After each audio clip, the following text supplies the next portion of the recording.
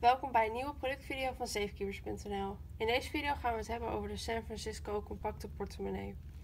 Deze hebben we in de kleur zwart en is gemaakt van echt leer.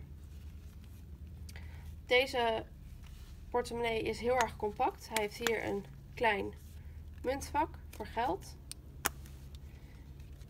Aan de binnenkant heeft hij plaats voor één of twee pasjes.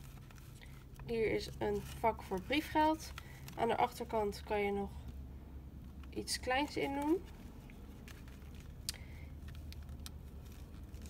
En aan de achterkant van de portemonnee zit een vakje met een ringetje waar je sleutels aan kan maken.